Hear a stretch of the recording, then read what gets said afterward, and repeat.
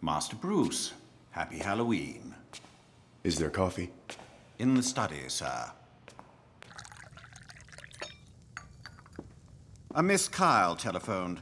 She said she was checking the number you gave her to make sure it's real. The gates are open. We haven't seen a trick-or-treater in years. We won't see one tonight. Hardly worth the security risk, wouldn't you say? Respectfully, sir, if our security is dependent on $600 worth of iron alloy... This city is fallen, Alfred. Then we must endeavor to lift it up again, Bruce. In the meantime, we live in obstinate hope. And an unlocked mansion. Anyway, it's an absurd holiday. Oh yes, putting on costumes and striking fear. Quite absurd.